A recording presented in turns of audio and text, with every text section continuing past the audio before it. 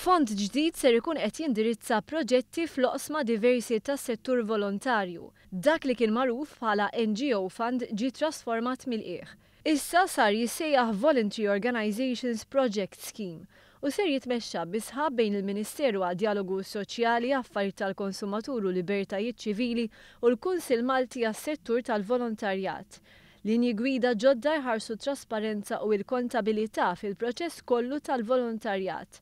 Taħt dan il-Fond ser ikunu qed jibbenefikaw madwar 30 proġett minn għaqdiet differenti, qabel kienu jibbenefikaw madwar għaxar proġetti biss. Waqt seminar ta' taħriġ tal-Kunsill Malti għas-Settur tal-Volontarjat, tkellimna maċ-Chairman Nathan Farrugia dwar il-fondi disponibbli. Il-funds li hemm bħalissa hemm 700,000 euro kull sena li dawn se joħorġu għal proġetti bejn 5,000 u 25,000 euro l-waħda. Ehm, dawn huma miftuħin għal kull NGO li hija reġistrata li hija enrolled.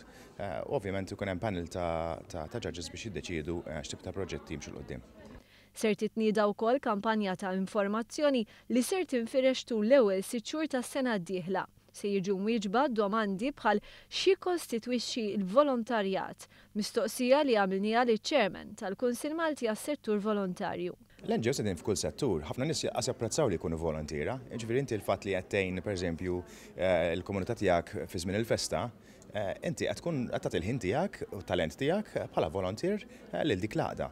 Jiġifieri m'hemmx għalfejn tkun qed tgħin persuna anzjana jew persuna b'diżabilità biex inti tħoss li inti volunteer. Jista' jkun li inti m'intix abbinat ma' għaqda, imma persuna indipendenti li jgħin il-qraba, forsi xi anzjana fit-triq, li tmur tagħmilha x-xiri, dak huwa volontarjat. Problema li kienu jaffaċċjaw volontiera hija fejn ser jiltaqgħu.